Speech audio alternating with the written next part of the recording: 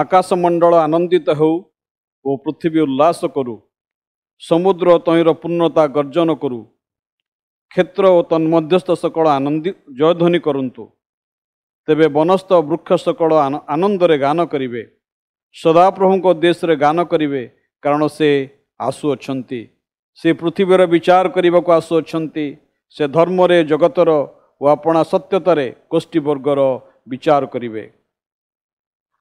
ଆମମାନଙ୍କର ପରିତ୍ରାଣକର୍ତ୍ତା ପ୍ରଭୁ ଖ୍ରୀଷ୍ଟଙ୍କ ନାମରେ ଆପଣମାନଙ୍କୁ ସମସ୍ତଙ୍କୁ ଆଜିର ଏହି ପବିତ୍ର ଉପାସନାକୁ ମୁଁ ଖ୍ରୀଷ୍ଟୀୟ ପ୍ରେମ ନମସ୍କାର ସହିତ ସ୍ୱାଗତ ଜଣାଉଛି ପ୍ରଭୁଙ୍କର ପବିତ୍ର ମହାନାମର ଧନ୍ୟବାଦ ହେଉ ଯେ ପ୍ରଭୁ ଆଜି ଆମମାନଙ୍କୁ ପୁଣି ଥରେ ଆଉ ତାଙ୍କର ସେବା କରିବା ପାଇଁ ସେ ଆମମାନଙ୍କୁ ସୁଯୋଗ ଦେଇଅଛନ୍ତି ପ୍ରଭୁଙ୍କର ପବିତ୍ର ମହାନାମର ଧନ୍ୟବାଦ ହେଉ ଆମମାନଙ୍କର ତ୍ରାଣକର୍ତ୍ତା ପ୍ରଭୁ ଯୀଶୁ ଏ ଜଗତକୁ ଆସୁଅଛନ୍ତି ଭାଇ ଭଉଣୀମାନେ ବିଶ୍ୱାସୀ ଭାବରେ ତାହା ହିଁ ଆମମାନଙ୍କର ଆଶା ଏବଂ ଭରସା ଅଟେ ଯେ ଆମମାନଙ୍କର ପ୍ରଭୁ ଯୀଶୁ ଆମମାନଙ୍କୁ ଏ ଜଗତରେ ରଖିବା ପାଇଁ ଆସୁନାହାନ୍ତି ମାତ୍ର ଆମମାନଙ୍କୁ ଆ, ତାହାଙ୍କ ନିକଟକୁ ନେବା ପାଇଁ ଆସୁଛନ୍ତି ସେଥିପାଇଁ ସେ ଏ କଥା ଆମମାନଙ୍କୁ ଜଣାନ୍ତି ତୁମମାନଙ୍କ ହୃଦୟ ଉଦ୍ବିଗ୍ନ ନ ହଉ ତୁମମାନେ ମଠାରେ ବିଶ୍ୱାସ କର ତୁମେ ଈଶ୍ୱରଙ୍କ ଠାରେ ବିଶ୍ୱାସ କର ମୁଁ ଯାଉଛି ସ୍ଥାନ ପ୍ରସ୍ତୁତ କରିବି ପୁଣି ଥରେ ମୁଁ ଆସିବି ଏବଂ ତୁମମାନଙ୍କୁ ଆପଣା ନିକଟକୁ ନେଇଯିବେ ଆସନ୍ତା ମାନେ ପ୍ରଭୁଙ୍କ ନିକଟରେ ନିଜ ନିଜକୁ ସମର୍ପଣ କରିବା ଆଜିର ଉପାସନାକୁ ସମର୍ପଣ କରିବା ପ୍ରଭୁ ଯେପରି ଆଜିର ଉପାସନା ଦ୍ୱାରା ଆମମାନଙ୍କର ମଧ୍ୟରେ ଗୌରବାନ୍ୱିତ ହୁଅନ୍ତି ଆସନ୍ତୁ ପ୍ରାର୍ଥନା କରିବା ଗୌରବମୟ ସଦାପ୍ରଭୁ ଆମମାନଙ୍କର ମଙ୍ଗଳମୟ ପିତା ଏତେବେଳେ ଆମମାନଙ୍କର ଉଦ୍ଧାରକର୍ତ୍ତା ପ୍ରଭୁ ଖ୍ରୀଷ୍ଟଙ୍କ ନାମରେ ତୁମର ଅନୁଗ୍ରହ ସିଂହାସନ ନିକଟକୁ ଆସୁଅଛୁ କାରଣ ତୁମେ ଆମମାନଙ୍କର ଅନୁଗ୍ରହକାରୀ ଆମମାନଙ୍କର ବିଶ୍ୱସ୍ତ ପରମେଶ୍ୱର ଯେ ଆମମାନଙ୍କୁ ଆପଣା ବିଶ୍ୱସ୍ତତାରେ ଏପର୍ଯ୍ୟନ୍ତ କଢ଼େଇ ଆଣିଛନ୍ତି ଆମମାନଙ୍କୁ ଆପଣା ଦକ୍ଷିଣ ସ୍ତରରେ ବହନ କରି ଆମମାନଙ୍କୁ ଏପର୍ଯ୍ୟନ୍ତ ଚଳେଇ ଆଣିଛନ୍ତି। ପ୍ରଭୁ ତୁମ ପବିତ୍ର ନାମକୁ ଧନ୍ୟବାଦ ଦେଉଛୁ। ଆଜି ଏ ପବିତ୍ର ଉପାସନାରେ ତୁମେ ଆମମାନଙ୍କୁ ଯୋଗ ଦେବାର ସୁଯୋଗ ଦେଲ ପ୍ରଭୁ। ହଁ ପ୍ରଭୁ ଅନେକ ମାସ ହେଲାଣି ଯଦିଓ ଆମମାନେ ଉପାସନା ଗୃହରେ ମିଳିତ ହେଇପାରିନାହୁଁ ମାତ୍ର ପ୍ରଭୁ ତୁମେ ଆମମାନଙ୍କୁ ସୁଯୋଗ ଦେଇଛ ଏ ଅନଲାଇନ୍ ମାଧ୍ୟମରେ ପ୍ରଭୁ ଯଦି ଆମେ ନିଜ ନିଜ ଗୃହରେ ଅଛୁ ତଥାପି ପ୍ରଭୁ ଆଉ ଆମମାନେ ବିଶ୍ୱାସୀ ଭାଇ ଭଉଣୀମାନଙ୍କ ସହିତ ଆତ୍ମାରେ ମିଳିତ ହୋଇ ତୁମର ସେବା କରିବାର ସୌଭାଗ୍ୟ ଆମମାନଙ୍କୁ ଦେଇଅଛ ସେଥିପାଇଁ ପ୍ରଭୁ ତୁମ ପବିତ୍ର ନାମକୁ ଧନ୍ୟବାଦ ଦେବା ସହିତ ଯେତେବେଳେ ପ୍ରଭୁ ନିଜ ନିଜକୁ ତୁମରି ହସ୍ତରେ ସମର୍ପଣ କରୁଛୁ ଆଜିର ଏ ପବିତ୍ର ଉପାସନାରେ ପ୍ରଭୁ ତୁମେ ଆମମାନଙ୍କ ସହିତ ରୁହ ଏବଂ ପ୍ରଭୁ ତୁମେ ଆମମାନଙ୍କୁ ଆଜି କଥା କୁହ ତୁମ ରବ ଶୁଣିବା ପାଇଁ ଆମମାନଙ୍କୁ ସାହାଯ୍ୟ କର।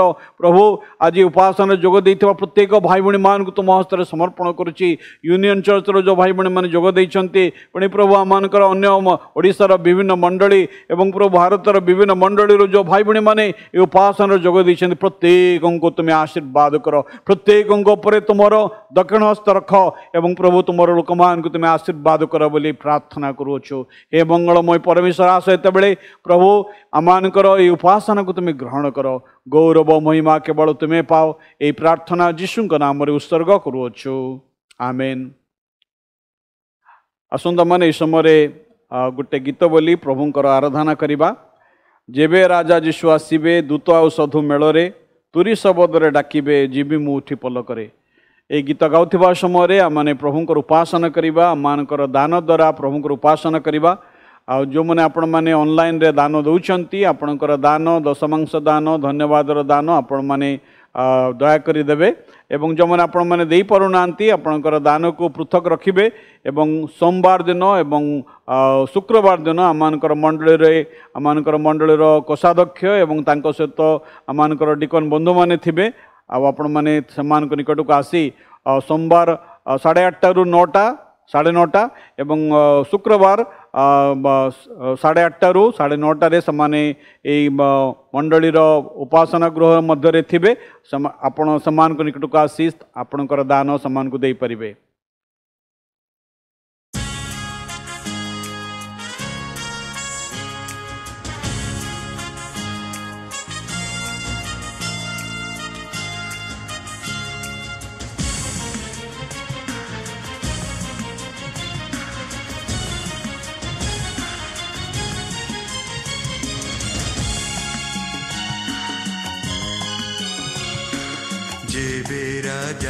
যিশু আসিবে দূত আউ সাধু মেড়রে তুরি শবদরে ডাকিবে জীবি মু উঠি পল করে যেবে রাজা যিশু আসিবে দূত আউ সাধু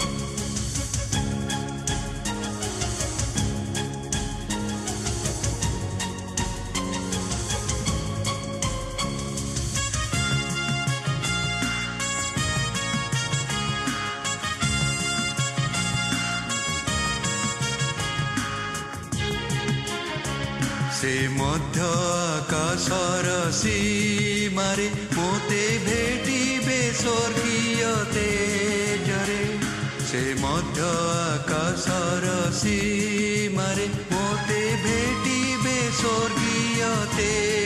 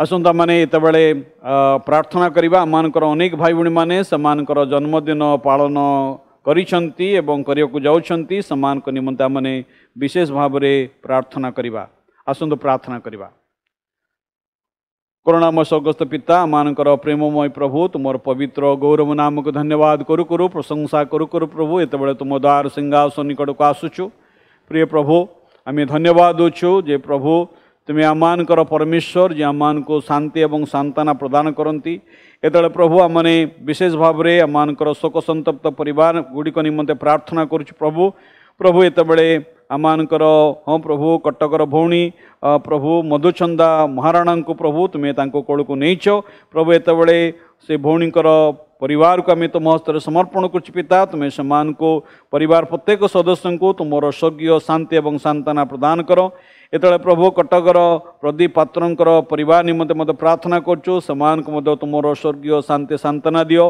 हाँ प्रभु सबिता महांती को तुम्हें नहींच प्रभु आम बाबुदन भाई माँ को प्रभु तुम्हें से प्रिय परिवार मध्य शांति तुम्हें प्रदान कर तुम सांत्वना से परिवार को तुम्हें दियो बोली प्रार्थना करुँ सम्यकांत सामल भाईकर परिवार मैंने प्रार्थना कर प्रभु जम्बूर से तुम तुम स्वर्गीय शांति सांत्वना दियो। पटियाला पंजाबर प्रभु आम भौणी आरती मिश्र को तुम कल को नहींच हे प्रिय प्रभु, तुम निकटने से प्रिय परिवार को रखुचु प्रभु तुम स्वर्गीय शांति सांत्वना सामान को आसु। ये प्रभु मंडल समस्त बयोज्येष्ठ बयोज्येष्ठ मान को तुम रखुच। ରଖୁଛୁ ତୁମେ ସେମାନଙ୍କୁ ବିଶେଷ ଭାବରେ ଆଶୀର୍ବାଦ କର ପ୍ରିୟ ପ୍ରଭୁ ଏତେବେଳେ ମଧ୍ୟ ଆମମାନଙ୍କର ମଣ୍ଡଳୀର ଅନେକ ଭାଇ ଭଉଣୀମାନେ ସେମାନଙ୍କର ଜନ୍ମଦିନ ପାଳନ କରିଛନ୍ତି ଏବଂ କେହି କେହି କରିବା ପାଇଁ ଯାଉଛନ୍ତି ସେମାନଙ୍କୁ ତୁମ ରଖୁଛୁ ପ୍ରଭୁ ତୁମେ ଦୟାକର ପ୍ରାର୍ଥନା କରୁଛୁ ଆମମାନଙ୍କର ଭାଇ ଅ, ସୁଦୀପ୍ତ ପ୍ରଧାନଙ୍କ ନିମନ୍ତେ ହଁ ପ୍ରଭୁ ଆଉ ଜୟଶାନ୍ତ ନିମନ୍ତେ ମଧ୍ୟ ପ୍ରାର୍ଥନା କରୁଛୁ हरमोहन सिंह को निमित्त प्रार्थना करुचु एवं आम धन्यवाद दूचु भाई संजीव एवं कल्पिता प्रधान प्रभु तर से वेडिंग आनिभर्सरी से चौदह तारीख दिन पालन कर प्रभु। से कपल को तुम विशेष भाव आशीर्वाद कर। संजीता प्रधान को निमित्त प्रार्थना करुचु। कल्याणी प्रधान को निमित्त प्रार्थना करुचु। आम भौणी माला मिश्र को निमित्त प्रार्थना करुचु प्रभु। अर्पित ଅର୍ପିତ ପ୍ରଧାନଙ୍କ ନିମନ୍ତେ ପ୍ରାର୍ଥନା କରୁଛୁ ବିଶ୍ୱଜିତ ମହାନ୍ତିଙ୍କ ନିମନ୍ତେ ପ୍ରାର୍ଥନା କରୁଛୁ ହଁ ପ୍ରଭୁ ହୀରକ ରଞ୍ଜନ ପଟ୍ଟନାୟକଙ୍କ ନିମନ୍ତେ ପ୍ରାର୍ଥନା କରୁଛୁ ତାଙ୍କ ଝିଅ ରେ- ରେବେକା ପଟ୍ଟନାୟକଙ୍କ ନିମନ୍ତେ ପ୍ରାର୍ଥନା କରୁଛି ପିତା ପ୍ରଭୁ ତୁମର ପ୍ରିୟ ଲୋକମାନେ ସେମାନେ ଜନ୍ମଦିନ ପାଳନ କରିଛନ୍ତି ଏବଂ କରିବା ପାଇଁ ଯାଉଛନ୍ତି। ପ୍ରଭୁ ତୁମେ ପ୍ରତ୍ୟେକଙ୍କୁ ଆଶୀର୍ବାଦ କର।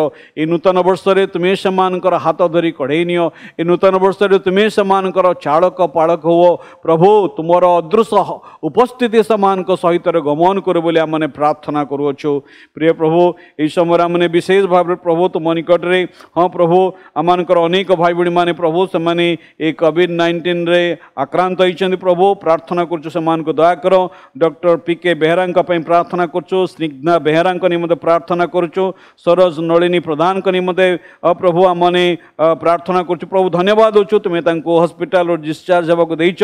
ଆମମାନଙ୍କର ଯୁବା ଭାଇ ସଞ୍ଜୟ ସାମନ୍ତରାୟଙ୍କୁ ମଧ୍ୟ ତୁମେ ସାହାଯ୍ୟ କରିଛ। ପ୍ରଭୁ ଏତେବେଳେ ଅ, ପ୍ରଭୁ ଅମିୟ ମହାପାତ୍ର ଏବଂ ତାଙ୍କର ପରିବାର ପାଇଁ ମଧୁସ୍ମିତା ନାୟକ ଏବଂ ପ୍ରଭୁ ଆମମାନେ ପ୍ରାର୍ଥନା କରୁଛୁ। ପ୍ରାର୍ଥ ସାରଥୀ ଅ, ସେ ଚେନ୍ନାଇର ଜି ଅବ୍ରାମ ସେ ମଧ୍ୟ ଚେନ୍ନାଇର ସେ ମଧ୍ୟ ଆକ୍ରାନ୍ତ ହୋଇଛନ୍ତି ଦିନେଶ ଚନ୍ଦ୍ର ରାଉତ ହଁ ପ୍ରଭୁ ସେ କେୟାର ହସ୍ପିଟାଲ ଅଛନ୍ତି ଅ, ପ୍ରଭୁ ସୁନିତା ବର୍ଦ୍ଧନ ତାଙ୍କ ନିମନ୍ତେ ପ୍ରାର୍ଥନା କରୁଛୁ ରେଭରେଣ୍ଡ ଅନିସିମ ନାୟକ ଅ, ସୁରେଖା ସୁନ୍ଦରୀ ମଲ୍ଲିକଙ୍କ ନିମନ୍ତେ ପ୍ରାର୍ଥନା କରୁଛୁ ପ୍ରଭୁ ଏତେବେଳେ ଶାନ୍ତେ ପ୍ରଧାନ କନ୍ଧମାଳ ତାଙ୍କ ପାଇଁ ଏମ୍ ଅକ୍ଷୟଙ୍କ ନିମନ୍ତେ ପ୍ରାର୍ଥନା କରୁଛୁ ପ୍ରଭୁ ତୁମେ ତାଙ୍କୁ ଦୟାକରି ସ୍ପର୍ଶ କର ନିହାର ନଳିନୀ ସେନାପତି ଏଷ୍ଟର ରଣା ଏବଂ ତାଙ୍କ ପରିବାର ପାଇଁ ପ୍ରାର୍ଥନା କରୁଛୁ ହଁ ପ୍ରଭୁ ଦୋଲୁଲ ଏବଂ ଅ, ଶାନ୍ତିଲତା ସେନାପତିଙ୍କ ପାଇଁ ପ୍ରାର୍ଥନା କରୁଛୁ ଆନନ୍ଦଜିତ ଅ, ସାବତଙ୍କ ପାଇଁ ପ୍ରାର୍ଥନା କରୁଛୁ ଝରୁ ଭାଇ ଯେ ଖୋର୍ଦ୍ଧାର ପ୍ରଭୁ ତାଙ୍କ ପାଇଁ ମଧ୍ୟ ପ୍ରାର୍ଥନା କରୁଛୁ ପିତା ନାଥନ ପାତ୍ର ନାୟକ ତାଙ୍କ ପାଇଁ ପ୍ରାର୍ଥନା କରୁଛୁ ଆଶିଷ ଅ, ମିଶ୍ର ଏବଂ ତାଙ୍କର ସହଧର୍ମୀଙ୍କ ନିମନ୍ତେ ପ୍ରାର୍ଥନା କରୁଛୁ ଜିତେନ୍ଦ୍ର ସୁନା ଏବଂ ତାଙ୍କ ସ୍ତ୍ରୀଙ୍କ ପାଇଁ ପ୍ରାର୍ଥନା କରୁଛୁ ହିଜକ ହିଜକିଲ ଏବଂ ତାଙ୍କର ସ୍ତ୍ରୀଙ୍କ ପାଇଁ ପ୍ରଭୁ ପ୍ରାର୍ଥନା କରୁଛୁ ତୁମେ ଦୟାକର ସମୀରଣ ନାୟକଙ୍କ ପାଇଁ ପ୍ରାର୍ଥନା କରୁଛୁ ଗିରିୟନ ନାୟକଙ୍କ ପାଇଁ ପ୍ରାର୍ଥନା କରୁଛୁ। ଅ, ପ୍ରଭୁ ମିଶାଲ ପ୍ରଧାନ ଅ, ପ୍ରଭୁ ପ୍ରାର୍ଥନା କରୁଛୁ। बबलू रथ प्रार्थना कर रथ एवं प्रभु आर जो नेता मैंने अच्छा प्रार्थना करभु तुम्हें तुम्हें को अनुग्रह कर तुम दिव्य सुस्थता ए प्रिय भाई भाई मान को दि प्रभु जो मैंने आज से करोना भाईरस पजिट द्वारा आक्रांत होती प्रभु आम जीशु नाम प्रार्थना कर प्रिय भाई भाई मान को तुम्हें स्पर्श कर प्रभु तुम सुस्थता उल्लै आसु जीशु नाम प्रभु से तुम सुस्थता को अनुभव करेंगे प्रभु आ ସେମାନେ ସୁସ୍ଥତା ପାଇ ତୁମର ଗୌରବର ସାକ୍ଷ୍ୟ ପ୍ରଦାନ କରିବେ ଆମମାନଙ୍କର ଏ ପ୍ରିୟ ଭାଇ ଭଉଣୀମାନଙ୍କୁ ତୁମେ ଦୟା କର ବୋଲି ପ୍ରାର୍ଥନା କରୁଅଛୁ ହେ ପ୍ରିୟ ପ୍ରଭୁ ଏତେବେଳେ ଆମମାନେ ବିଶେଷ ଭାବରେ ହଁ ପ୍ରଭୁ ଆମମାନେ ପ୍ରାର୍ଥନା କରୁଛୁ ଯେଉଁ ଭାଇ ଭଉଣୀମାନେ ହଁ ପ୍ରଭୁ ଆଉ ସେମାନେ ହଁ ପ୍ରଭୁ ସେଇ ଯେଉଁ ଟ୍ରିଟମେଣ୍ଟ ନେଉଛନ୍ତି କ୍ୟାନ୍ସର ଟ୍ରିଟମେଣ୍ଟ ନେଉଛନ୍ତି ଶାନ୍ତା ଦାସ आम आमनकर भौणी मिनर्वा चाँद निमित्ते प्रार्थना करचो, बाबलो प्रार्थना करो सीमाराणी दिगाल का निमित्ते प्रार्थना करो हाँ प्रभु, मागीराम प्रधान का निमें प्रार्थना करो प्रभु तुम्हें दया कर, प्रत्येक को तुम्हें अनुग्रह कर, प्रभु, प्रार्थना करो शैली भौणी प्रभु तुम्हें अनुग्रह कल तर गोटे सैड जो पारालाइज हो प्रभु, अनुग्रह दियो, सुस्थता दियो, अमिता, सोनाधर भौणी प्रार्थना कर प्रभु तर डायलिसीस प्रभु तुम्हें दया कर, नीता मल्लिक प्रार्थना करचो, कुमारी लेंका प्रार्थना करुँ मनोज जेना तर प्रभु दयाकर हाँ प्रभु भाग्यवती प्रधान प्रार्थना करसा मशा कुमार प्रार्थना करंजना अंजना नायक प्रार्थना करुँ प्रभु हेमांगनी स्वयं निम्ते प्रार्थना करणिमाला मणिमाला सावंत प्रार्थना करुँ किडनी प्रोब्लेम अच्छी हाँ प्रभु रविरंजन राउत आम मंडल बयोज्येष्ठ प्रभु तुम्हें दयाकर ज्योत्नाराणी पट्टनायक प्रार्थना करुँ ମଣ୍ଡଳୀର ବୟୋଜ୍ୟେଷ୍ଠ ପ୍ରଭୁ ତାଙ୍କୁ ମଧ୍ୟ ତୁମେ ଦୟାକର ଜ୍ୟୋତ୍ସ୍ନା ରାଣୀ ପଟ୍ଟନାୟକଙ୍କ ପାଇଁ ପ୍ରାର୍ଥନା କରୁଛୁ ହଁ ପ୍ରଭୁ ସୁଜାତା ମହାପାତ୍ରଙ୍କ ନିମନ୍ତେ ପ୍ରାର୍ଥନା କରୁଛୁ ତାଙ୍କର ନର୍ଭର ପ୍ରୋବ୍ଲେମ୍ ରହିଛି ପ୍ରଭୁ ତୁମେ ଅନୁଗ୍ରହ ଦିଅ ଏବଂ ତୁମର ଦିବ୍ୟ ସୁସ୍ଥତା ତୁମେ ପ୍ରଦାନ କର ହେ ପ୍ରିୟ ପ୍ରଭୁ ଏତେବେଳେ ଆମେ ବିଶେଷ ଭାବରେ ଆମମାନଙ୍କର ମଣ୍ଡଳୀର ସଭା କାର୍ଯ୍ୟ ନିମନ୍ତେ ପ୍ରାର୍ଥନା କରୁଛୁ ଯେଉଁ ସମସ୍ତ ଅନଲାଇନ୍ ଉପାସନା କାର୍ଯ୍ୟ ସବୁ ଚାଲିଛି ଆମମାନଙ୍କର ଖ୍ରୀଷ୍ଟିଆନ ଏଣ୍ଡେଭର ୟୁନିୟନ ନିମନ୍ତେ ମହିଳା ସମିତି ନିମନ୍ତେ ସଣ୍ଡେ ସ୍କୁଲ ନିମନ୍ତେ ୟୁଥ୍ ଫେଲୋସିପ୍ ନିମନ୍ତେ English एवं ओडिया सुसमाचार संगीत दल निम्ते बोर्ड मेंबर मानक निम्ते प्रेयर कोर्डनेटर्स मानक निम्ते मंडलीर पालक सुसमाचार प्रचारक मिशनरी आमकर केयर टेकर माड़ी भाई प्रार्थना करचु मंडलीर समस्त युवा युवती मानक निम्ते प्रार्थना करचु पाक निम्ते प्रार्थना करचु यही समय आम मानक जो पाने प्रभु विभिन्न परीक्षा दौंट प्रभु अनलाइन पाठ पढ़ापे अनेक कष्ट प्रभु तुम्हें दयाकर आम मानक पिला पाठ पढ़ा तुम अनुग्रह दिए बोली प्रार्थना करचु प्रभु, धन्यवाद हो आज तुम भंडार जो नैवेद्य आनीचो, से दान को तुम आशीर्वाद कर दाता दात्री मान को आशीर्वाद कर जो मैंने अनलाइन रे दान को प्रेरण कर आशीर्वाद कर। प्रिय प्रभु ଏତେବେଳେ ଆମେ ବିଶେଷ ଭାବରେ ତୁମର ବାକ୍ୟ ନିକଟକୁ ଆସୁଛୁ ପ୍ରଭୁ ତୁମର ବାକ୍ୟ ଦ୍ୱାରା ଆମମାନଙ୍କୁ କଥା କୁହ ଏତେବେଳେ ପ୍ରଭୁ ଧନ୍ୟବାଦ ଦେଉଛୁ ତୁମର ଦାସଙ୍କୁ ଯାହାଙ୍କୁ ତୁମେ ଆଜି ତୁମର ବାକ୍ୟ ପରିବେଷଣ କରିବା ପାଇଁ ମନୋନୀତ କରିଛ ଆମମାନଙ୍କ ପ୍ରିୟ ସଂଗ୍ରାମ ଭାଇଙ୍କୁ ତୁମ ହସ୍ତରେ ସମର୍ପଣ କରୁଛୁ ପ୍ରଭୁ ତୁମର ପ୍ରିୟ ଦାସଙ୍କୁ ଆତ୍ମାଙ୍କର ଅଭିଷେକ ଦେଇ ପ୍ରଭୁ ଆମମାନଙ୍କ ମଧ୍ୟରେ ବ୍ୟବହାର କର ବୋଲି ପ୍ରାର୍ଥନା କରୁଛୁ ପ୍ରଭୁ ଧନ୍ୟବାଦ ଦେଉଛୁ ତୁମମାନଙ୍କର ପ୍ରାର୍ଥନା ଶୁଣୁଥିବାରୁ ସକଳ ମହିମା ଗୌରବ ତୁମକୁ ଅର୍ପଣ କରି ଏହି ପ୍ରାର୍ଥନା ଯୀଶୁଙ୍କ ନାମରେ ଉତ୍ସର୍ଗ କରୁଅଛୁ ଆମେନ୍ ଆଜିର ଧ୍ୟାନ ନିମନ୍ତେ ଆମେ ପ୍ରଭୁଙ୍କ ବାକ୍ୟରୁ ଯେଉଁ ଅଂଶ ପାଠ କରିବା ତା ଆପଣମାନେ ପାଇବେ। ମାଥ୍ୟୁ ଲିଖିତ ସୁସମାଚାର ତାର ଚବିଶ ଅଧ୍ୟାୟ। ଏକ ପଦରୁ ଆମମାନେ ଆଠ ପଦର ଶେଷ ପର୍ଯ୍ୟନ୍ତ ପାଠ କରିବା। ମାଥ୍ୟୁ ଚବିଶ ପର୍ବ ଏକ ପଦରୁ ଆଠ ପଦ। ମାଥ୍ୟୁ ଚବିଶ ପର୍ବ ଏକ ପଦରୁ ଆଠ ପଦ ସେ ସ୍ଥାନରେ ପ୍ରଭୁଙ୍କ ବାକ୍ୟରେ ଏ ପ୍ରକାର ଲେଖାଯାଏ। ଯୀଶୁ ମନ୍ଦିରରୁ ବାହାରି ଚାଲି ଯାଉଥିବା ସମୟରେ ତାହାଙ୍କର ଶିଷ୍ୟମାନେ ତାହାଙ୍କୁ ମନ୍ଦିରର ପ୍ରାସାଦ ସମୂହ ଦେଖାଇବା ନିମନ୍ତେ ତାହାଙ୍କ ନିକଟକୁ ଆସିଲେ। କିନ୍ତୁ ଯୀଶୁ ସେମାନଙ୍କୁ ଉତ୍ତର ଦେଲେ ତୁମମାନେ କ'ଣ ଏହି ସମସ୍ତ ଦେଖୁନାହ? ମୁଁ ତୁମମାନଙ୍କୁ ସତ୍ୟ କହୁଅଛି ଏହି ସ୍ଥାନରେ ଏକ ପ୍ରସ୍ତର ଅନ୍ୟ ପ୍ରସ୍ତର ଉପରେ ରହିବ ନାହିଁ। ସମସ୍ତ ହିଁ ଭୂମିସାତ ହେବ ପରେ ସେ ଜିତ ପର୍ବତ ଉପରେ ବସନ୍ତେ ଶିଷ୍ୟମାନେ ତାଙ୍କ ଛାମୁକୁ ଗୋପନରେ ଆସି ପଚାରିଲେ ଏସବୁ କେବେ ଘଟିବ?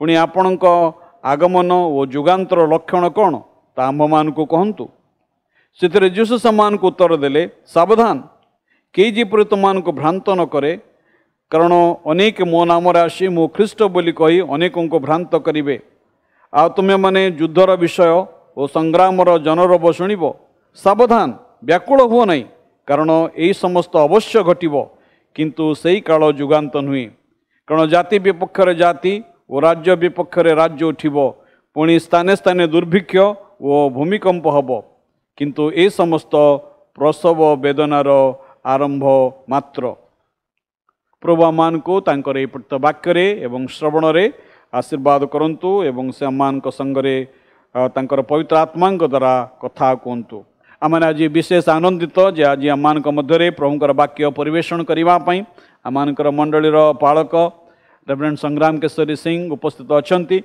ଆଉ ପ୍ରଭୁ ତାଙ୍କର ଦାସଙ୍କୁ ଏ ଦିନମାନଙ୍କରେ ବହୁଳ ଭାବରେ ବ୍ୟବହାର କରୁଛନ୍ତି। ଯଦିଓ ଆ, ମାନେ ଅ, ଅନେକ ଲକଡାଉନ୍ ଯଦି ଏବେ ଏବେ ତ ଲ- ଲ- ଆମମାନଙ୍କର ଲକଡାଉନ୍ ଖୋଲିଯାଇଛି କିନ୍ତୁ ଲକଡାଉନ୍ ଖୋଲିଲେ ମଧ୍ୟ ଆମମାନେ ଆମମାନଙ୍କର ଉପାସନା ଗୃହ ଗୁଡ଼ିକରେ ଏକତ୍ରିତ ହେଇପାରୁନାହୁଁ। କିନ୍ତୁ ଏ ଲକଡାଉନ୍ ମଧ୍ୟରେ ପ୍ରଭୁଙ୍କର ବାକ୍ୟକୁ କେହି ବାନ୍ଧି ପାରିନାହାନ୍ତି। ହାଲେଲୁୟା ଈଶ୍ୱରଙ୍କର ବାକ୍ୟକୁ କେହି ବାନ୍ଧିପାରେ ଭାଇ ଭଉଣୀମାନେ ଈଶ୍ୱରଙ୍କ ବାକ୍ୟ ଉନ୍ମୁକ୍ତ କାରଣ ଈଶ୍ୱରଙ୍କୁ କେହି କେବେ ବାନ୍ଧି ପାରିବେ ନାହିଁ ପ୍ରଭୁ ଯୀଶୁଙ୍କୁ ଆଉ ସମାଧିରେ ବ- ରଖିବା ପାଇଁ ଆଉ ଚେଷ୍ଟା ଚାଲିଥିଲା ଆଉ ସମାଧିର ଆଉ ସେଇ ମୁହଁକୁ ଆଉ ମ- ମ- ମୋହରାଙ୍କିତ କରାଗଲା କିନ୍ତୁ ପ୍ରଭୁ ଯୀଶୁଙ୍କୁ କେହି ବାନ୍ଧି ନାହାନ୍ତି ପ୍ରଭୁଙ୍କର ବାକ୍ୟକୁ କେହି ବାନ୍ଧି ପାରିବେ ନାହିଁ ଆଉ ପ୍ରଭୁ ତାଙ୍କର ଦାସଙ୍କୁ ଏଇ ଦିନମାନଙ୍କରେ ବହୁଳ ଭାବରେ ବ୍ୟବହାର କରୁଛନ୍ତି ଆଉ ତାଙ୍କର ବାକ୍ୟର ପରିଚର୍ଯାରେ ଆମେ ମଧ୍ୟ ଆତ୍ମିକ ଭାବରେ ଆଉ, ଉପକାର ପାଇଛୁ ଲାଭ ପାଇଛୁ ପ୍ରଭୁ ତାଙ୍କର ଦାସଙ୍କୁ ଆଶୀର୍ବାଦ କରନ୍ତୁ ତାଙ୍କର ପରିବାରକୁ ଆଶୀର୍ବାଦ କରନ୍ତୁ ଏବଂ ତାଙ୍କରି ବ- ଗୌରବ ନିମନ୍ତେ ବ୍ୟବହାର କରନ୍ତୁ ମୁଁ ଅଧିକ ସମୟ ନେବା ପାଇଁ ଚାହୁଁନାହିଁ ଯେତେବେଳେ ପ୍ରଭୁଙ୍କ ଦାସଙ୍କୁ ମୁଁ ଆହ୍ୱାନ କରିବି ସେ ସମ୍ମୁଖକୁ ଆସିବେ ଏବଂ ପ୍ରଭୁ ତାଙ୍କ ଅନ୍ତରରେ ଯେଉଁ ବାକ୍ୟ ଦେଇଛନ୍ତି ତାହା ସେ ଆମମାନଙ୍କ ମଧ୍ୟରେ ସ୍ୱଚ୍ଛନ୍ଦରେ ପରିବେଷଣ କରିବେ ରେଭରେଣ୍ଡ ସଂଗ୍ରାମ କେଶରୀ ସିଂ। ପ୍ରଭୁ ଯୀଶୁ ଖ୍ରୀଷ୍ଟଙ୍କର ପବିତ୍ର ନାମରେ ଆପଣମାନଙ୍କୁ ପ୍ରତ୍ୟେକଙ୍କୁ ଆନ୍ତରିକ ନମସ୍କାର ଜଣାଏ।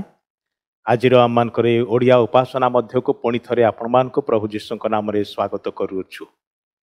ପ୍ରଭୁଙ୍କୁ ଧନ୍ୟବାଦ ଦିଏ ଏ ବିଶେଷ ସୁଯୋଗର ପାଇଁ ଯେଉଁ ସୁଯୋଗରେ ଆମମାନେ ବିଭିନ୍ନ ସ୍ଥାନରେ ରହିକି ମଧ୍ୟ ପ୍ରଭୁଙ୍କ ଚରଣ ତଳେ ଏକାଠି ହେବାକୁ ପାରୁଛୁ ଏବଂ ତାହାଙ୍କର ଉପାସନା ଆରାଧନାକୁ ଜାରି ରଖିବାକୁ ପାରିଛୁ।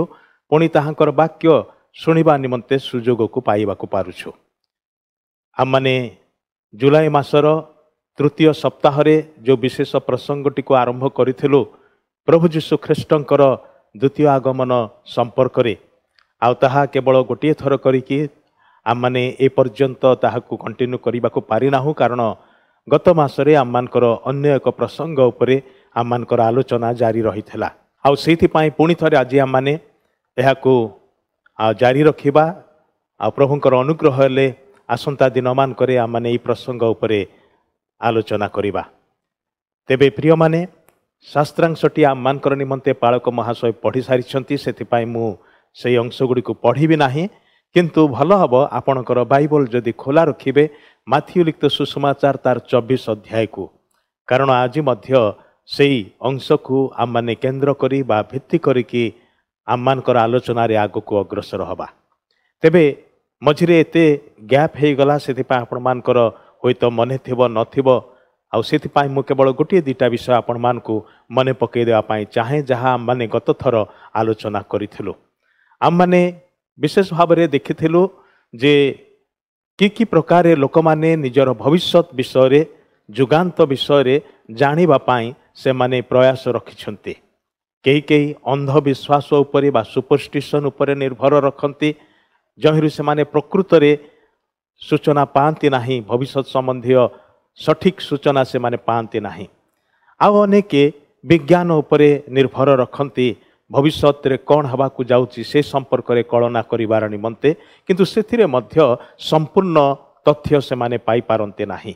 କିନ୍ତୁ ତୃତୀୟ ବିଷୟ ଯାହା ପରମେଶ୍ୱର ଆପଣଙ୍କୁ ଆଉ ମୋତେ ଦେଇଅଛନ୍ତି ବା ଆମ ସମସ୍ତଙ୍କର ନିମନ୍ତେ ଦେଇଅଛନ୍ତି ତାହା ହେଉଛି ସ୍କ୍ରିପ୍ଚର୍ସ ବା ଈଶ୍ୱରଙ୍କର ଶାସ୍ତ୍ର ପବିତ୍ର ବାଇବଲ ପବିତ୍ର ବାଇବଲରେ ଆରମ୍ଭ ଏବଂ ଶେଷ ଉଭୟ ବିଷୟରେ ଲେଖାଯାଏ ମନୁଷ୍ୟ ଇତିହାସର ଆରମ୍ଭ ଏବଂ ତାହାର ଶେଷ এই ଯୁଗର ଆରମ୍ଭ ଏବଂ ଶେଷ ସାରା ବିଶ୍ୱର ଆରମ୍ଭ ଏବଂ ଶେଷ ଏସବୁ ବିଷୟକ ବିବରଣ ପବିତ୍ର ବାଇବଲରେ ପୁଙ୍ଖାନୁପୁଙ୍ଖ ଭାବରେ ଦିଆଯାଇଛି।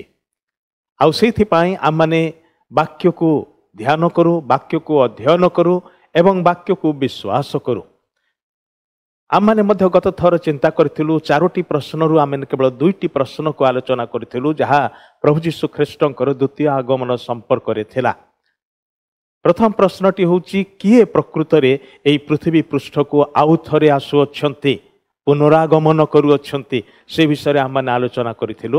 ଏବଂ ଦ୍ୱିତୀୟ ପ୍ରଶ୍ନଟି ଥିଲା ସେ କିପରି ଭାବରେ ଏହି ପୃଥିବୀ ବକ୍ଷକୁ ଫେରି ଆସିବେ? ଆଉ ସେଥିରେ ଆମମାନେ ଦୁଇଟି ବିଷୟ ଦେଖିଥିଲୁ ଯେ ଗୋଟିଏ ହେଉଛି ତାହାଙ୍କର ପ୍ରଥମ ଆଗମନ ଏବଂ ଦ୍ୱିତୀୟ ଆଗମନ ମଧ୍ୟରେ କ'ଣ ସବୁ ବୈଷମ୍ୟ ଥିଲା। ବା କ'ଣ ଭିନ୍ନତା ତାହା ଆମମାନେ ଆଲୋଚନା କରିଥିଲୁ। ପ୍ରଥମ ଆଗମନରେ ସେ ଶିଶୁ ରୂପରେ ଆସିଥିଲେ କିନ୍ତୁ ଦ୍ୱିତୀୟ ଆଗମନରେ ଶିଶୁ ରୂପରେ ଆସିବେ ନାହିଁ। ସେ ବୟସପ୍ରାପ୍ତ ମନୁଷ୍ୟ ଭାବରେ ସେଇ ଯେଉଁ ଶରୀର ନେଇକି ସ୍ୱର୍ଗକୁ ଆରୋହଣ କରିଛନ୍ତି ସେହି ଶରୀରରେ ସେ ଆସିବେ। ସେଇ କଥାରେ ଆମମାନେ ଗତ ଥର ଚିନ୍ତା କରିଥିଲୁ। ପ୍ରଥମ ଆଗମନ ଅନେକଙ୍କର ନିମନ୍ତେ ଅଜଣା ଥିଲା କିନ୍ତୁ ଦ୍ୱିତୀୟ ଆଗମନଟି ସର୍ବସମ୍ମୁଖରେ ହେବ। ସମସ୍ତେ ଦେଖିବେ। ଲେଖାଯାଉଛି ପ୍ରତ୍ୟେକ ଚକ୍ଷୁ ତାହାଙ୍କୁ ଦେଖିବ। ଆଉ ସେଇଥିପାଇଁ ଆମମାନେ ଜାଣୁ ଯେ ଯେଉଁ ଭିନ୍ନତା ଯେଉଁ ରହିଛି ଦୁଇଟି ଆଗମନ ମଧ୍ୟରେ। କିନ୍ତୁ ଆମମାନେ ମଧ୍ୟ ଏହା ଦେଖିଥିଲୁ ଯେ ତାଙ୍କର ପ୍ରଥମ ପ୍ରସ୍ଥାନ ଅର୍ଥାତ୍ ସ୍ୱର୍ଗକୁ ଫେରିଯିବାର ବିଷୟ ଏବଂ ତାଙ୍କର ଦ୍ୱିତୀୟ ଆଗମନ ମଧ୍ୟରେ କ'ଣ ସବୁ ତୁଳନା ବିଷୟ ରହିଛି ବା ସମାନତା ରହିଛି। ପ୍ରଥମ ପ୍ରସ୍ଥାନରେ ଯେତେବେଳେ ସେ ସ୍ୱର୍ଗକୁ ଫେରିଗଲେ ସେ କି ପ୍ରକାର ଫେରିଗଲେ? ସେ ଫେରିଗଲେ ମେଘମାଳାରେ।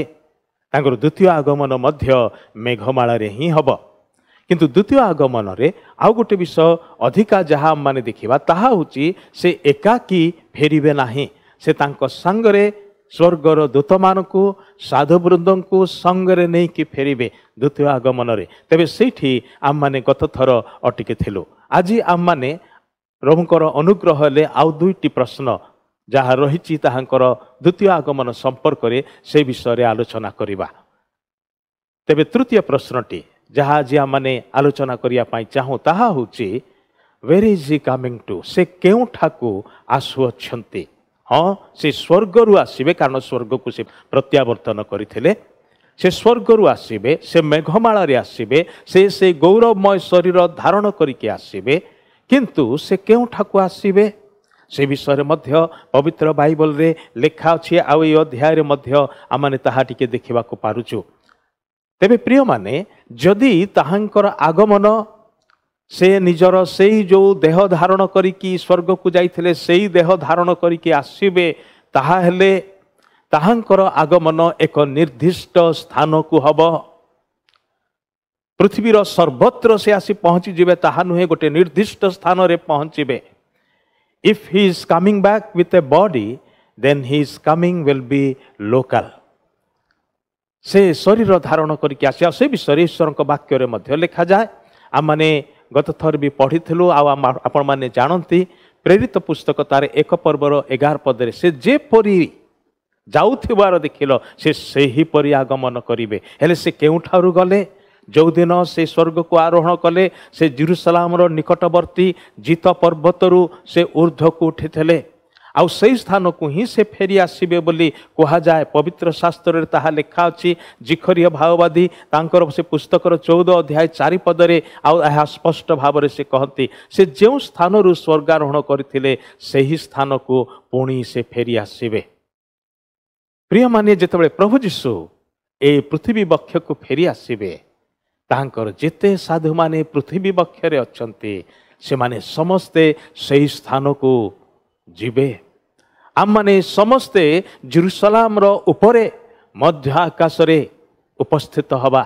କାରଣ ସେହି ସ୍ଥାନକୁ ଯେତେବେଳେ ସେ ଫେରି ଆସୁଅଛନ୍ତି ଆମମାନେ ତାହାଙ୍କୁ ଭେଟିବାର ନିମନ୍ତେ ସେହି ସ୍ଥାନରେ ମିଳିତ ହେବା। କି ପ୍ରକାର ଏକ ମିଳନ ତାହା ହେବ?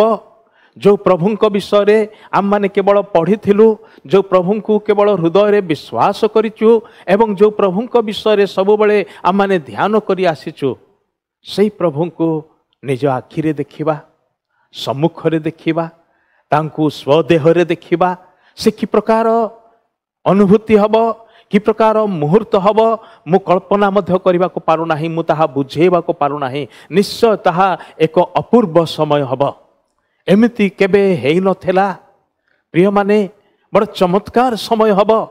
ଆଉ ମୁଁ ବ୍ୟକ୍ତିଗତ ଭାବରେ ସେହି ମୁହୂର୍ତ୍ତର ନିମନ୍ତେ ଅପେକ୍ଷା କରୁଛି। ବହୁତ ମୁଁ ଚାହୁଁଛି। ଆଉ ମୋର ବିଶ୍ୱାସ ଆପଣମାନେ ମଧ୍ୟ ସେହି ପ୍ରକାର ଭାବରେ ତାହାଙ୍କର ଅପେକ୍ଷା କରୁଅଛନ୍ତି। ସେ ଯେଉଁଠାରୁ ଯାଇଥିଲେ ଅର୍ଥାତ୍ ଜେରୁସାଲାମ ନିକଟବର୍ତ୍ତୀ ସେଇ ଯେଉଁ ଜୈତିନ ପର୍ବତରୁ ସେ ଉପରକୁ ଉଠିଥିଲେ ସେହି ସ୍ଥାନକୁ ସେ ଆସିବେ। ଜିଖରିୟ ଲେଖନ୍ତି ତାହାଙ୍କର ଡାହାଣ ପାଦ ଜୈତିନ ପର୍ବତ ଉପରେ ପଡ଼ିବ ଆଉ ସେତେବେଳେ ସେହି ପର୍ବତଟି ଦୁଇ ଭାଗରେ ବିଭକ୍ତ ହେବ ମଝିରେ ସମତଳ ଭୂମି ହେବ ଏବଂ ସେହି ସମତଳ ଭୂମିରେ ସ୍ୱର୍ଗୀୟ ଜେରୁସାଲାମ ବା ନୂତନ ଜେରୁସାଲାମ ତାହା ଓହ୍ଲେଇକି ଆସିବ ଏବଂ ତାହା ହେବ ମେଷ ଶାବକଙ୍କର ଅର୍ଥାତ୍ ପ୍ରଭୁ ଯୀଶୁ ଖ୍ରୀଷ୍ଟଙ୍କର ରାଜାମାନଙ୍କର ରାଜା ପ୍ରଭୁମାନଙ୍କର ପ୍ରଭୁଙ୍କର ରାଜଧାନୀ ହେବ। ଆଉ ସେଠାରୁ ସେ ସାରା ପୃଥିବୀ ଉପରେ ରାଜ୍ୟ କରିବେ। ବର୍ଷେ ଦୁଇ ବର୍ଷ ପାଞ୍ଚ ବର୍ଷ ଦଶ ବର୍ଷ ପାଇଁ ବୋଲି ନୁହେଁ ଏକ ହଜାର ବର୍ଷ ପର୍ଯ୍ୟନ୍ତ ଏକ ସହସ୍ର ବର୍ଷ ବ୍ୟାପୀ ସେ ରାଜ୍ୟ କରିବେ। ଆଉ ତାହାଙ୍କର ରାଜ୍ୟ ଅବିନାଶ୍ୟ ରାଜ୍ୟ ଅଟେ।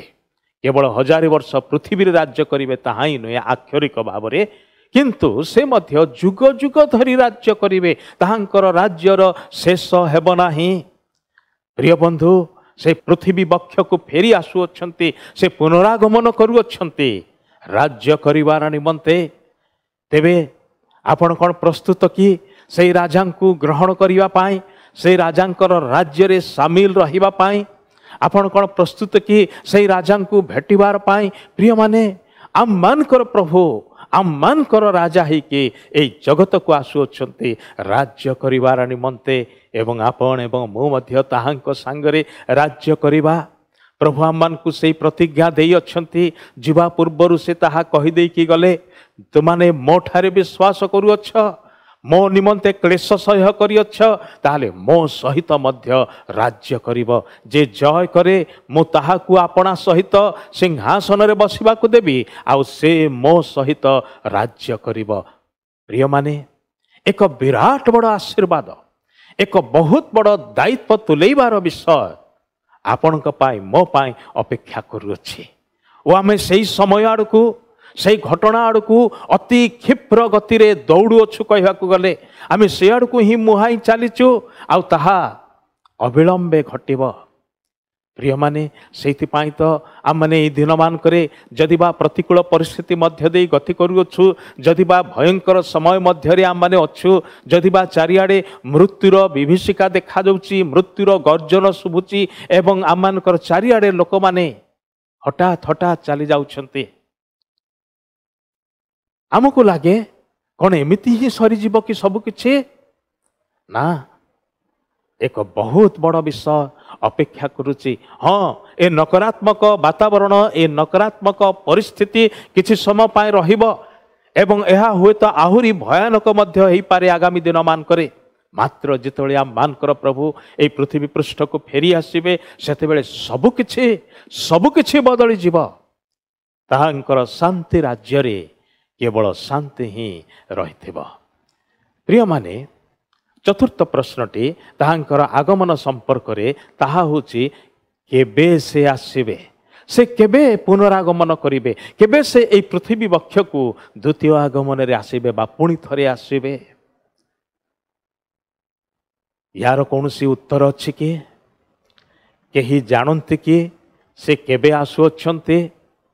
ପ୍ରଭୁ ଯୀଶୁ ଏହି ଜଗତରେ ମଣିଷ ରୂପରେ ଥିଲାବେଳେ ସେ ନିଜେ କହିଥିଲେ ତାହା କେହି ଜାଣନ୍ତି ନାହିଁ ପୁତ୍ର ସୁଦ୍ଧା ଜାଣନ୍ତି ନାହିଁ କେବଳ ପିତା ଜାଣନ୍ତି।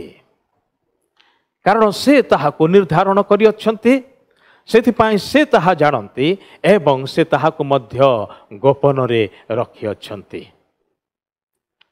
ଦିନ ସମୟ ଓ ବର୍ଷ ବିଷୟରେ ଆମେ ଭବିଷ୍ୟ କହିପାରିବା ନାହିଁ। ପିତା ତାହା ଗୋପନରେ ରଖିଅଛନ୍ତି। ଆଉ ସେ ଯାହା ନିରୂପଣ କରିଅଛନ୍ତି ତାହା ନିଶ୍ଚୟ ଦିନେ ସଫଳ ହେବାକୁ ଯାଉଛି। କାରଣ ପରମେଶ୍ୱରଙ୍କର ନିର୍ଦ୍ଧାରଣ କେବେ ବି ଏପଟ ସେପଟ ହୁଏ ନାହିଁ। ଆଗମନର ଦିନ ନିରୂପଣ କରିବା ଏକ ଆଦରଣୀୟ ପାସ୍ ଟାଇମ୍ ହୋଇଯାଇଛି କେତେକ ଲୋକଙ୍କର ପାଇଁ। ଅନେକ ଲୋକ ଅତୀତରେ ଚେଷ୍ଟା କରିଛନ୍ତି ପ୍ରଭୁ ଯୀଶୁଙ୍କର ଦ୍ୱିତୀୟ ଆଗମନର ସମୟକୁ ନିରୂପଣ କରିକି ଲୋକମାନଙ୍କ ନିକଟରେ କହିବା ପାଇଁ। ଆଉ ସେମାନେ କହିବିଛନ୍ତି କେଉଁ ସାଲରେ ହେବ ବୋଲି? ଏବଂ ସେହି ସାଲରେ ଯେହେତୁ ହେଲା ନାହିଁ ଭୟଙ୍କର ଭାବରେ ବିଫଳ ହୋଇଛନ୍ତି। ଅନ୍ତତଃ ଦୁଇ ତିନି ଜଣଙ୍କର ନାଁ ମୁଁ ଆପଣମାନଙ୍କୁ କହିବାକୁ ଚାହେଁ ଯେଉଁମାନେ ବିଖ୍ୟାତ ଲୋକମାନେ ଏହି ପୃଥିବୀ ପୃଷ୍ଠରେ ବିଶେଷ ଭାବରେ ଖ୍ରୀଷ୍ଟୀୟ ସମ୍ପ୍ରଦାୟ ମଧ୍ୟରେ ସେମାନଙ୍କର ନାମ ଅଛି ସେମାନଙ୍କର ଖ୍ୟାତି ଅଛି ଅନେକ ଲୋକ ସେମାନଙ୍କୁ ଜାଣନ୍ତି। ସେ ପ୍ରକାର ନେତାମାନେ ମଧ୍ୟ ଏଥିରୁ ବାଦ ପଡ଼ିନାହାନ୍ତି। ଯେଉଁମାନେ କି ପ୍ରଭୁ ଯୀଶୁ ଖ୍ରୀଷ୍ଟଙ୍କର ଦ୍ୱିତୀୟ ଆଗମନର ସମୟକୁ ସେମାନେ ଘୋଷଣା କରି କହିଥିଲେ ଯେ ଅମକ ସାଲରେ ହେବ ବୋଲି କିନ୍ତୁ ତାହା ହେଲା ନାହିଁ। ମିଲେର ନାମକ ଜଣେ ବ୍ୟକ୍ତି ଯିଏକି ସେଭେନ୍ ଡେ ଆଡ଼ଭାଣ୍ଟିଷ୍ଟର ମାନଙ୍କର ପ୍ରତିଷ୍ଠାତା ଅଟନ୍ତି ସେ ଅଠରଶହ ତେୟାଳିଶ ଖ୍ରୀଷ୍ଟାବ୍ଦରେ ପ୍ରଭୁ ଯୀଶୁ ଆସିବେ ବୋଲି ଘୋଷଣା କରିଥିଲେ। କିନ୍ତୁ ଅଠରଶହ ତେୟାଳିଶ ଚାଲିଗଲା ସେ ଆସିଲେ ନାହିଁ। ରାସଲ ନାମକ ଆଉ ଜଣେ ଯିଏକି ଜିହବା ୱିଟନେସେସର ପ୍ରତିଷ୍ଠାତା ସେ ଘୋଷଣା କରିଥିଲେ ଉଣେଇଶହ ଚଉଦ ସାଲରେ ପ୍ରଭୁ ଯୀଶୁଙ୍କର ଦ୍ୱିତୀୟ ଆଗମନ ହେବ ବୋଲି। କିନ୍ତୁ ତାହା ମଧ୍ୟ ହେଲା ନାହିଁ। ଆଉ ସେମାନେ ଏଇ ଯେଉଁ ସାଲ ସବୁ କହିଥିଲେ ସେଇ ସାଲ ଅତିକ୍ରମ ହେଲା ଆଉ ତାରେ ଜୀବିତ ରହିଥିଲେ। ସେଥିପାଇଁ ଲୋକ ହସାର କାରଣ ହେଲେ ଲୋକମାନେ ସେମାନଙ୍କୁ ବିଦ୍ରୁପ କଲେ। କାରଣ ସେମାନଙ୍କର ଘୋଷଣା ସେମାନଙ୍କର ଏଇ ଭବିଷ୍ୟତବାଣୀ ମିଥ୍ୟା ବୋଲିକି ପ୍ରମାଣିତ ହେଲା। କିନ୍ତୁ ଆଉ କେତେକ ଯେଉଁମାନଙ୍କୁ କି ଆମମାନେ ଉତ୍ତମ ନେତା ବୋଲି ଜାଣୁ ସେମାନେ ମଧ୍ୟ ଘୋଷଣା କରିଥିଲେ କିନ୍ତୁ ଏଇ ପ୍ରଥମ ଦୁଇ ଜଣଙ୍କ ଠାରୁ ସେମାନେ ଟିକିଏ ଚାଲାକ ଥିଲେ ପ୍ରଥମ ଦୁଇ ଜଣ କ'ଣ ସେମାନଙ୍କର ଜୀବନରେ ବଞ୍ଚିଥିବା ସମୟରେ ହିଁ ଯୀଶୁ ଆସିବେ ବୋଲି ଘୋଷଣା କରିଥିଲେ ଆଉ ତାହା ହେଲା ନାହିଁ କିନ୍ତୁ ଦ୍ୱିତୀୟ ଦୁଇ ଜଣ ଯେଉଁମାନଙ୍କର ନାମ ଆପଣ ବେଶ ଜାଣନ୍ତି ଆଉ ସେମାନେ ମଧ୍ୟ ଯୀଶୁଙ୍କର ଦ୍ୱିତୀୟ ଆଗମନ ସମ୍ପର୍କରେ ସାଲର କଥା କହିଥିଲେ କେଉଁ ସାଲରେ ସେ ଆସିବେ। କିନ୍ତୁ ସେମାନେ ଏ ପ୍ରକାର ସମୟ ଘୋଷଣା କରିଥିଲେ ଯେଉଁ ସମୟ ଆସିବା ବେଳକୁ ସେମାନେ ଏଇ ଜଗତରେ ଆଉ ଜୀବିତ ନଥିଲେ। ସେଥିପାଇଁ ଲୋକମାନଙ୍କର ସମ୍ମୁଖରେ ସେମାନଙ୍କୁ ଆଉ ଉତ୍ତର ଦେବାକୁ ପଡ଼ିଲା ନାହିଁ। ସେମାନେ ହେଲେ ମାର୍ଟିନ ଲୁଥର ଯିଏକି ପ୍ରୋଟେଷ୍ଟାଣ୍ଟ ମଣ୍ଡଳୀ ସମୂହର ପ୍ରତିଷ୍ଠାତା ବୋଲି କହିବା ଯିଏକି ରିଫର୍ମେସନ୍ ଆଣିଥିଲେ ସେ କହିଥିଲେ ଷୋଳଶହ ଛତିଶ ଖ୍ରୀଷ୍ଟାବ୍ଦରେ ଯୀଶୁଙ୍କର ଦ୍ୱିତୀୟ ଆଗମନ ହେଇପାରେ ବୋଲିକି। ଏବଂ ଆଉ ଜଣେ ତାଙ୍କ ଉତ୍ତାରେ ଜନ୍ ୱେସ୍ଲି ମେଥୋଡ଼ିସ୍ ମଣ୍ଡଳୀର ପ୍ରତିଷ୍ଠାତା ଯିଏ ସେ କହିଥିଲେ ଅଠରଶହ ଚଉସ୍ତରୀରେ ହେଇପାରେ ବୋଲିକି।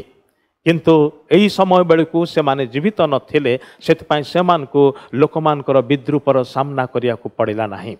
ତେବେ ପ୍ରିୟମାନେ ଅନେକ ଲୋକ କେବଳ ଏମାନଙ୍କର କଥା ହିଁ ନୁହେଁ କିନ୍ତୁ ଆହୁରି ଅନେକ ଲୋକ ଭିନ୍ନ ଭିନ୍ନ ସମୟ ସବୁ ସେମାନେ ନିରୂପଣ କରି କହୁଥିଲେ।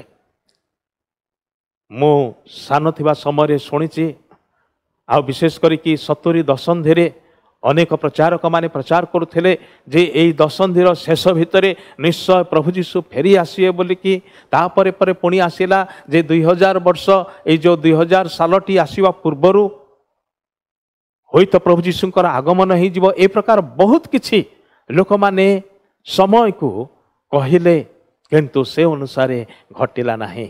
ଆମେ ଗୋଟିଏ ବିଷୟ ମନେ ରଖିବା ଦରକାର ମଣିଷ ଭାବରେ।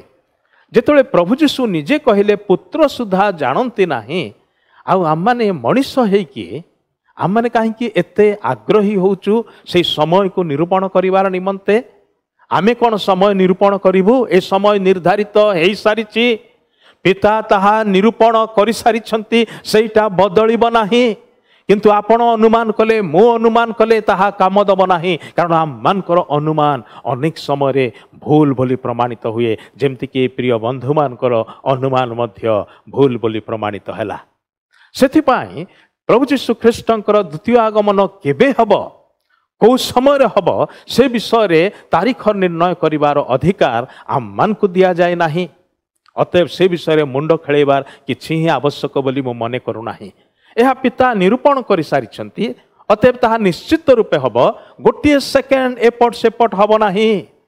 ସେ ଯଥା ସମୟରେ ନିଶ୍ଚିତ ରୂପେ ଏ ଧରାପୃଷ୍ଠକୁ ଆସିବେ।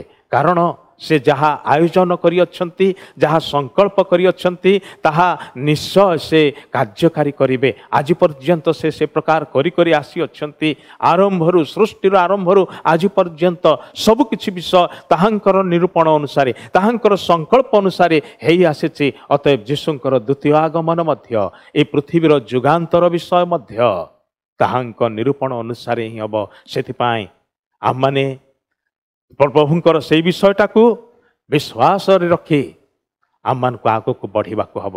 ଅବଶ୍ୟ ଆମମାନେ ଆପଣ ଆପଣାକୁ ପ୍ରସ୍ତୁତ ରଖିବା ଦରକାର।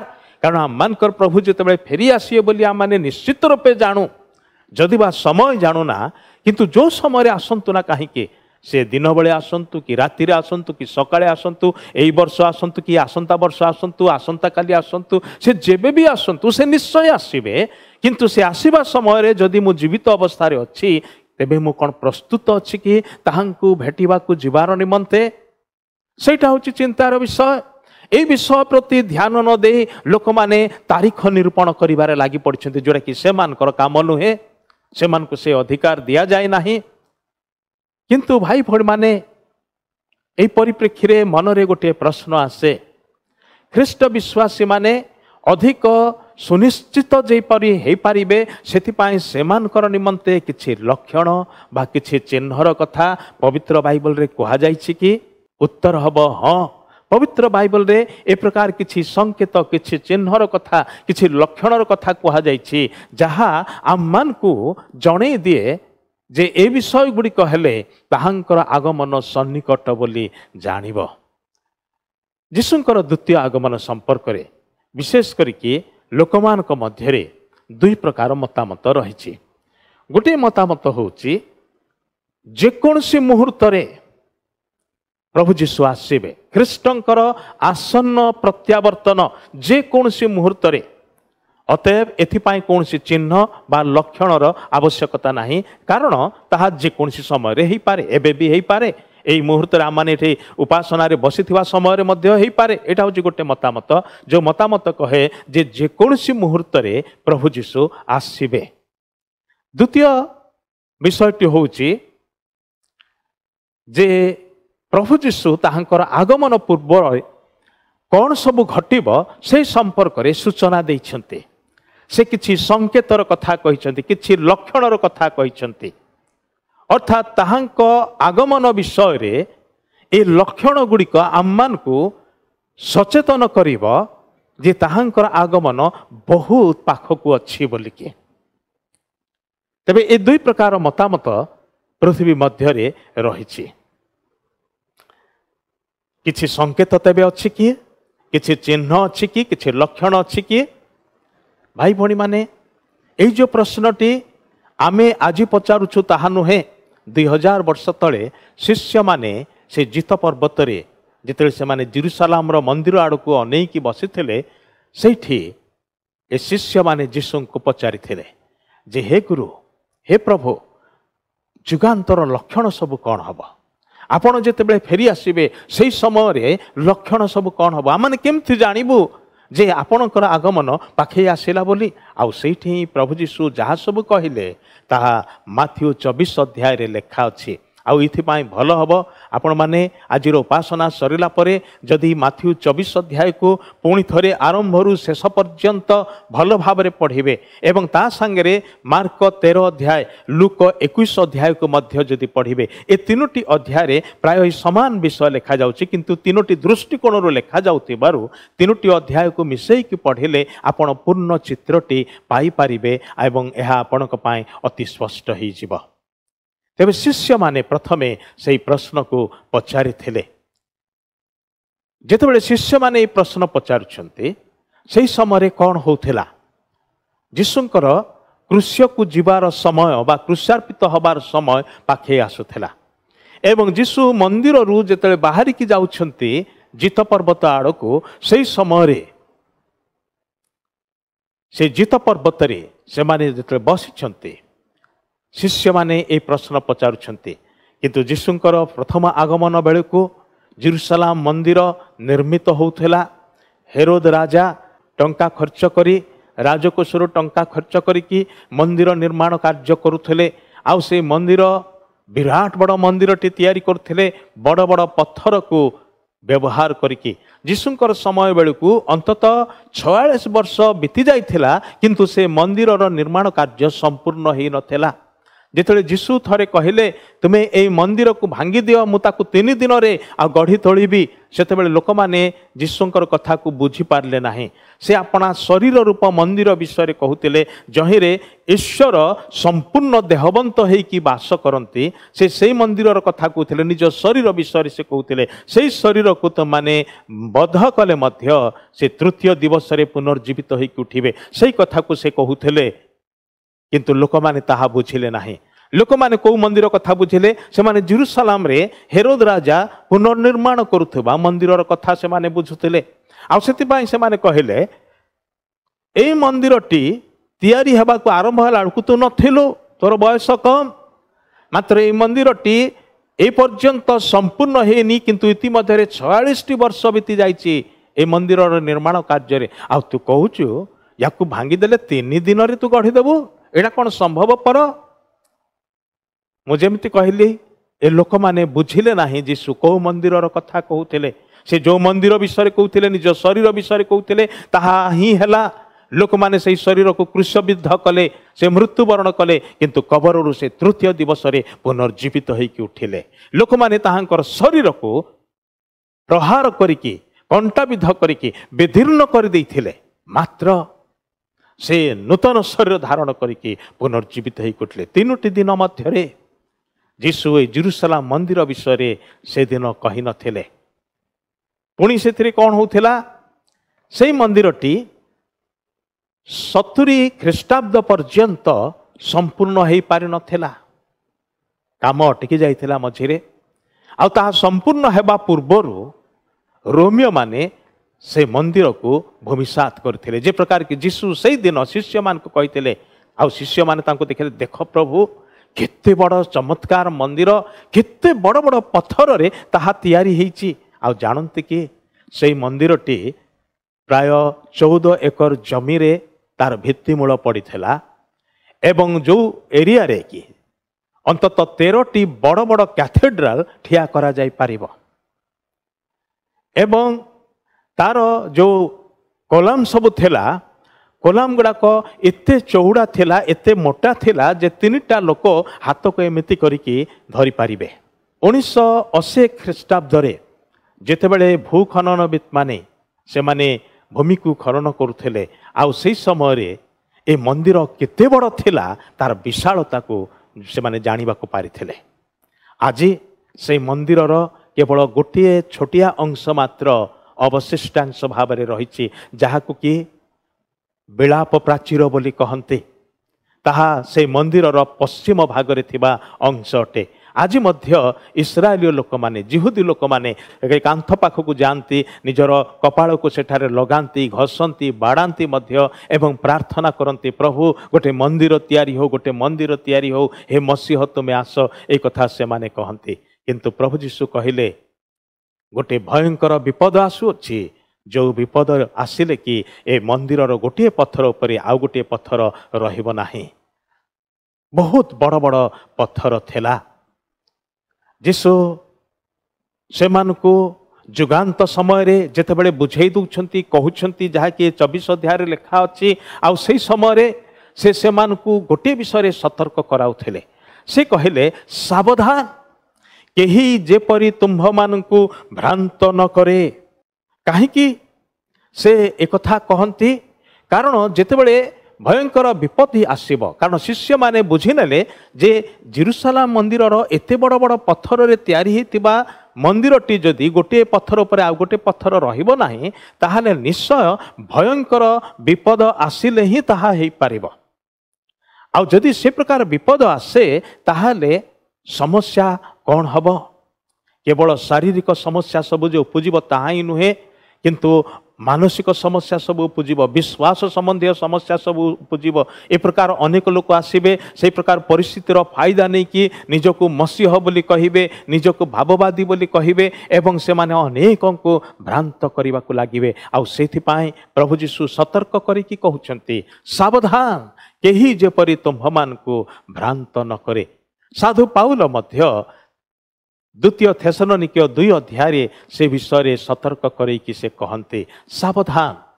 କହିବାକୁ ଗଲେ ପ୍ରଭୁ ଯୀଶୁ ଏଇ ଚବିଶ ଅଧ୍ୟାୟରେ ଯାହା କହୁଅଛନ୍ତି ସେ ଏ ପ୍ରକାର ସତେ ଯେମିତି ଶିଷ୍ୟମାନଙ୍କୁ କହୁଅଛନ୍ତି ତୁମେ ତୁମର ଆଖିକୁ ବିଶ୍ୱାସ କର କାନକୁ ନୁହେଁ ଅନେକ ଆସି କ'ଣ ସବୁ କହିବେ? ସେମାନେ କ'ଣ କହିବେ ତାହା ବିଶ୍ୱାସ କର ନାହିଁ କିନ୍ତୁ ତୁମେ ପ୍ରକୃତରେ କ'ଣ ସବୁ ଘଟିବାର ଦେଖୁଅଛ ତାହା ବିଶ୍ୱାସ କର। Trust your eyes not your ears ଆଉ ଆଜି ଅନେକ କିଛି ଘଟୁଅଛି କିନ୍ତୁ ଘଟଣା ପ୍ରତି ଦୃଷ୍ଟି ନ ଦେଇ ଲୋକମାନେ କାନକୁ ଖୋଲା ରଖିଛନ୍ତି। ଇଏ କ'ଣ କହିଲା ସେ କ'ଣ କହିଲା ଆଉ ଜଣେ କ'ଣ କହୁଛି ଏବଂ ଏସବୁ ୟୁଟ୍ୟୁବ୍ ଚ୍ୟାନେଲରେ ଟେଲିଭିଜନ ଚ୍ୟାନେଲରେ ବଡ଼ ବଡ଼ ପ୍ରଚାରକମାନେ କ'ଣ ସବୁ କହୁଛନ୍ତି ଏସବୁ ଶୁଣିବାରେ ବ୍ୟସ୍ତ। ସାବଧାନ। କେହି ଯେପରି ଆପଣଙ୍କୁ ଭ୍ରାନ୍ତ ନ କରେ। ଘଟଣା କ'ଣ କ'ଣ ଘଟୁଅଛି ପ୍ରଭୁ ଯୀଶୁ କହୁଥିବା ଅନୁସାରେ ଘଟଣା ଗୁଡ଼ିକ ଘଟୁଛି କି? ଘଟଣା ପ୍ରତି ଦୃଷ୍ଟି ଦିଅନ୍ତୁ। ଆପଣଙ୍କର ଆଖି କ'ଣ ଦେଖୁଅଛି? ସେଇଟା ହେଉଛି ବାସ୍ତବ ବିଷୟ। ଏକ୍ସ ୱାଇ ଜେଡ୍ କ'ଣ କହୁଅଛନ୍ତି? ସେଇଟା ବାସ୍ତବ ବିଷୟ ନୁହେଁ କାରଣ ଅନେକ ଲୋକ ନିଜକୁ ସୁହାଇଲା ଭଳି ଏବଂ ଲୋକମାନଙ୍କର କାନକୁ ସୁହାଇଲା ଭଳି କଥାକୁ ଏପଟ ସେପଟ କରିକି ତିଳକୁ ତାଳ କରିକି କିମ୍ବା ମିଶ୍ରିତ କରିକି ସେମାନେ କଥା ସବୁ କହନ୍ତି। ଯାହା ଈଶ୍ୱରଙ୍କର ବାକ୍ୟର ବିରୁଦ୍ଧ ଅଟେ। ପରମେଶ୍ୱରଙ୍କ ବାକ୍ୟ ସ୍ପଷ୍ଟ ଭାବରେ ଶେଷ କାଳ ସମ୍ବନ୍ଧରେ କହିଦେଇଛି ଯେ ତୁମେ ଏଠାରେ କିଛି ଯୋଗ କରିବ ନାହିଁ ଏଥିରୁ କିଛି ବିୟୋଗ କରିବ ନାହିଁ କିମ୍ବା ଏହାକୁ ବିକୃତ ମଧ୍ୟ କରିବ ନାହିଁ। ଈଶ୍ୱରଙ୍କ ବାକ୍ୟରେ ସେ କହିସାରିଛନ୍ତି ଯାହା ସେ କହିବାକୁ ଚାହିଁଛନ୍ତି ତାହା ସ୍ପଷ୍ଟ ଭାବରେ କହିଦେଇଛନ୍ତି ସେଥିପାଇଁ ପ୍ରିୟମାନେ ବର୍ତ୍ତମାନ ଏବଂ ଆଗାମୀ ଦିନମାନଙ୍କରେ ଯେଉଁ ସବୁ ଭୟଙ୍କର ଘଟଣା ଗୁଡ଼ିକ ଘଟୁଅଛି ଏବଂ ଘଟିବାକୁ ଯାଉଅଛି ସେ ଘଟଣା ଗୁଡ଼ିକୁ ଅନୁଧ୍ୟାନ କରନ୍ତୁ ପ୍ରାର୍ଥନା କରିବା ଦରକାର ଆମମାନେ ହେ ପ୍ରଭୁ ଆମମାନଙ୍କର ଚକ୍ଷୁକୁ ଆନ୍ତରିକ ଚକ୍ଷୁକୁ ପ୍ରସନ୍ନ କରିଦିଅ ଯେପରିକି ତମ ବାକ୍ୟରେ ଲେଖାଥିବା ସତ୍ୟ ଗୁଡ଼ାକ ମଧ୍ୟ ଦେଖିପାରିବୁ ବୁଝିପାରିବୁ ଏବଂ ସେଇ ଆଲୋକରେ ଆମମାନଙ୍କର ପାରିପାର୍ଶ୍ୱିକ ଜଗତରେ ଘଟୁଥିବା ଘଟଣା ଗୁଡ଼ିକୁ ଅନୁଧ୍ୟାନ କରିପାରିବ। କାରଣ ସେଇ ଘଟଣା ଗୁଡ଼ିକ ଆମମାନଙ୍କର ନିମନ୍ତେ ସତର୍କ ଘଣ୍ଟି ଅଟେ ତାହା ଆମମାନଙ୍କୁ ସୂଚାଇ ଦିଏ ଯେ ଆମମାନଙ୍କର ପ୍ରଭୁଙ୍କର ଆଗମନ ସନ୍ନିକଟ ବୋଲିକି। ଆଉ ସେଥିପାଇଁ ଆମମାନେ ପ୍ରସ୍ତୁତ ରହିବା ଦରକାର। ଆଉ ପ୍ରଭୁ ଯୀଶୁ ଏଇ ଚବିଶ ଅଧ୍ୟାୟରେ ସେ ସ୍ପଷ୍ଟ ରୂପେ କେତେକ ଲକ୍ଷଣ ବା ଚିହ୍ନ ବା ସଂକେତର କଥା କହିଅଛନ୍ତି। ଯେମିତିକି ରେଳ ଷ୍ଟେସନରେ ସିଗ୍ନାଲ ଗୁଡ଼ିକ ବ୍ୟବହାର କରାଯାଉଛି। ଆଜିକାଲି ଅବଶ୍ୟ ଇଲେକ୍ଟ୍ରୋନିକ ସିଗ୍ନାଲ ସବୁ ବ୍ୟବହାର କରାଯାଉଛି।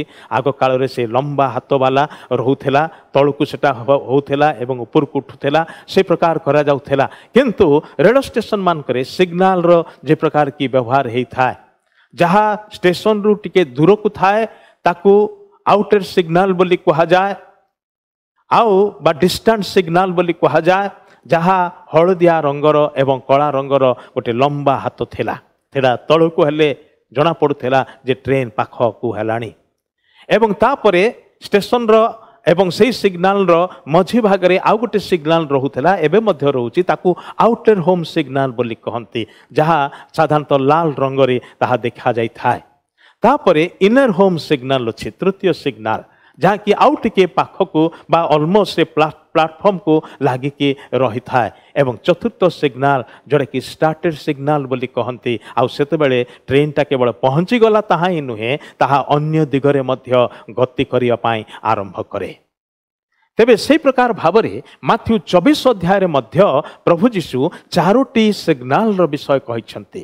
ଚାରି ପ୍ରକାର ଲକ୍ଷଣର କଥା କହିଅଛନ୍ତି ଯାହା ତାହାଙ୍କ ଆଗମନ ପୂର୍ବରୁ ଘଟିବ। ଆଉ ମୁଁ ଭାବୁନାହିଁ ଆଜି ଆମମାନଙ୍କ ପାଖରେ ସମୟ ଅଛି ସେ ଚାରୋଟି ଯାକ ସିଗ୍ନାଲ ବିଷୟରେ ଆଲୋଚନା କରିବା ନିମନ୍ତେ। କେବଳ ସମ୍ୟକ ଭାବରେ ଏତିକି ମୁଁ କହିବା ପାଇଁ ଚାହେଁ ଏବଂ ପ୍ରଭୁ ଅନୁଗ୍ରହ କଲେ ଆମମାନେ ପରବର୍ତ୍ତୀ ଅ, ସମୟରେ ତାହାକୁ ଆଉ ଟିକେ ଆମମାନେ ଭାନୁପୁଙ୍ଖ ଭାବରେ ଆଲୋଚନା କରିପାରିବା। ପ୍ରତିଟି ସିଗ୍ନାଲ ବା ପ୍ରତିଟି ଲକ୍ଷଣରେ ପ୍ରତିଟି ଏଇ ଯେଉଁ ସଂକେତରେ ତିନି ପ୍ରକାର ବିପଦର କଥା ସେ କୁହନ୍ତି। ମହାବିପଦର କଥା। ତିନି ପ୍ରକାର ମହାବିପଦ ଏବଂ ଗୋଟିଏ ବିପଦ ଯାହା ବିଶ୍ୱାସୀମାନଙ୍କର ନିମନ୍ତେ ମନୋନୀତ ଲୋକମାନଙ୍କର ନିମନ୍ତେ ଏବଂ ସେହି ପରିପ୍ରେକ୍ଷୀରେ ସେ ଗୋଟିଏ ପରାମର୍ଶ ଦିଅନ୍ତି ନିଜେ ପ୍ରଭୁ ଯୀଶୁ ଗୋଟିଏ ପରାମର୍ଶ ଦିଅନ୍ତି ତାହେଲେ ମନେ ରଖନ୍ତୁ ଚାରୋଟି ସିଗ୍ନାଲର ବିଷୟ ଏଇ ଚବିଶ ଅଧ୍ୟାୟରେ ଲେଖା ଅଛି ପ୍ରତିଟି ସିଗ୍ନାଲରେ ତିନି ପ୍ରକାରର ମହାବିପଦର କଥା କୁହାଯାଇଛି ମହାବିପତ୍ତି ବୋଲି ଯେଉଁଟାକି କ୍ୟାଟାଷ୍ଟ୍ରୋଫ ବୋଲି କୁହାଯିବ ତାହା ପ୍ରାକୃତିକ ବିପର୍ଯ୍ୟୟ ହେଇପାରେ କିମ୍ବା କୃତ୍ରିମ ଏଇ ଯେଉଁ ମନୁଷ୍ୟକୃତ ଯୁଦ୍ଧ ହେଇପାରେ ଭୂମିକମ୍ପ ହେଇପାରେ ବିଭିନ୍ନ ପ୍ରକାର ବିଷୟ ଯେଉଁଟାକି ଘଟିବ। ଏବଂ ସେଥିରେ ବିଶ୍ୱାସୀମାନଙ୍କର ନିମନ୍ତେ କେଉଁଟା ବଡ଼ ବିପଦଜନକ ବିଷୟ ସେ ବିଷୟରେ ସେମାନେ ସତର୍କ ହେବା ଦରକାର। ଘଟଣାଟା ଘଟୁଛି କିନ୍ତୁ କେଉଁ ବିଷୟରେ ସେମାନେ ସତର୍କ ହେବା ଦରକାର ସେ କଥା ପ୍ରଭୁ ଯୀଶୁ କହିଛନ୍ତି। ସେଇଟା ହେଉଛି ଗୋଟିଏ ଏଇ ପ୍ରତିଟି ସିଗ୍ନାଲରେ ଗୋଟେ ଗୋଟେ ଏବଂ ସେଇ ପରିପ୍ରେକ୍ଷୀରେ କ'ଣ କରିବା ଉଚିତ? ସେ ବିଷୟରେ ପ୍ରଭୁ ଯୀଶୁ ନିଜେ ପରାମର୍ଶ ବା ଉପଦେଶ ଦେଇଅଛନ୍ତି ତେବେ ଚାରୋଟି ସଂକେତ ମଧ୍ୟରୁ କେଉଁଠି କେଉଁଠି ଏଗୁଡ଼ାକ ଘଟିବ? ତିନୋଟି ବା ଚାରୋଟି ସ୍ଥାନରେ ଘଟିବାକୁ ଯାଉଛି। ଗୋଟିଏ ହେଉଛି ପୃଥିବୀରେ ଘଟିବ। ପ୍ରଥମ ସିଗ୍ନାଲଟି ପୃଥିବୀରେ ଘଟିବ। ଦ୍ୱିତୀୟ ସିଗ୍ନାଲଟି ମଣ୍ଡଳୀରେ ଘଟିବ। ତୃତୀୟ ସିଗ୍ନାଲଟି ମଧ୍ୟପ୍ରାଚ୍ୟରେ ମିଡିଲ ଇଷ୍ଟରେ ଘଟିବ ଏବଂ ଚତୁର୍ଥ ସିଗ୍ନାଲଟି ଆକାଶ ମଣ୍ଡଳରେ ଘଟିବ। ଏ ଚାରୋଟି ଯାକ ବିଷୟ ଏଇ ଚବିଶ ଅଧ୍ୟାୟରେ ହିଁ ଲେଖା ଅଛି। ପ୍ରଥମଟା କେଉଁଠି ଘଟିବ? ପୃଥିବୀରେ। ଦ୍ୱିତୀୟଟା କେଉଁଠି? ମଣ୍ଡଳୀରେ। ମଣ୍ଡଳୀ ସମ୍ପର୍କିତ ବିଷୟ ତୃତୀୟଟା ମଧ୍ୟପ୍ରାଚ୍ୟରେ ଅର୍ଥାତ୍ ମିଡିଲ ଇଷ୍ଟରେ ଯେଉଁଠି ଇସ୍ରାଏଲ ଦେଶ ପାଲେଷ୍ଟାଇନ ଦେଶ ଅଛି ସେଇ ଦେଶକୁ କେନ୍ଦ୍ର କରିକି ଘଟିବ ଏବଂ ଚତୁର୍ଥ ବିଷୟଟା ଆକାଶ ମଣ୍ଡଳରେ ଘଟିବ। ଆଉ ସେଥିପାଇଁ ଏ ଘଟଣା ଗୁଡ଼ିକ ଘଟିବା ସମୟରେ କୁଆଡ଼କୁ ଅନେଇବାକୁ ହବ ଆମମାନେ ଜାଣିପାରିବୁ।